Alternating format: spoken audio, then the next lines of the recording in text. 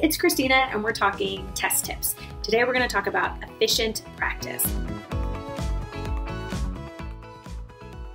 So it's very tempting when you're doing your practice to score it up, and all you're really looking for is improvement.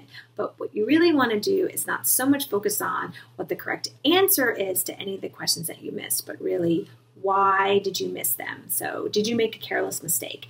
Did you maybe misunderstand a process? That can definitely happen with the math and the science section.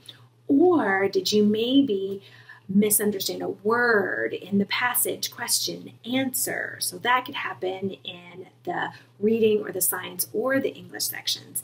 And there is nothing worse than knowing what the correct answer is, and then you go back and you look at your answer choices and you wonder, why did I even select that answer choice? This mismatch happens when you know what the correct answer is, but there's something about how the answer choices are worded that you're having a hard time matching your correct answer with the correct answer choice. So that's really helpful information.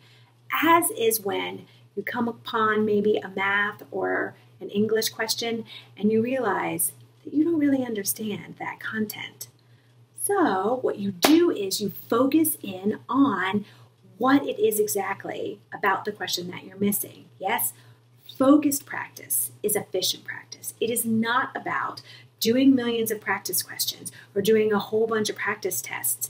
It is about focusing in on what it is you're missing so that you can get all of those future questions correct. All right, happy practicing!